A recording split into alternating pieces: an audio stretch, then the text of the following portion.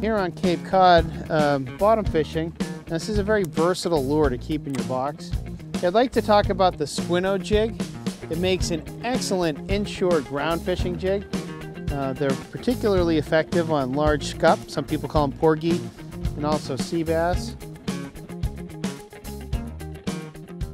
So this is an excellent jig. It's about two and a half ounces.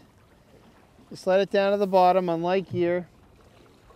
You can rig them with a small bucktail or treble.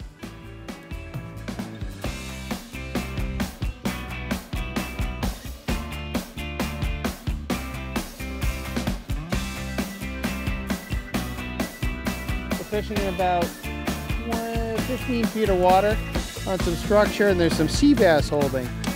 It makes an excellent inshore ground fishing jig. Now they come in uh, a holographic and a glow series. For whatever reason, the glow series is my personal favorite. And uh, this year, the uh, here on Cape Cod, the pink has been working uh, a little better than the rest, but uh, pink and olive are two of the most popular inshore bottom fishing colors. You just let it down to the bottom. These jigs weigh a little over two and a half ounces.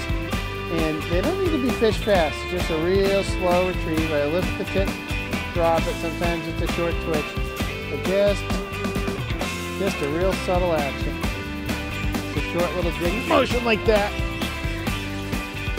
Yep, doesn't take much, just a slow little twitch.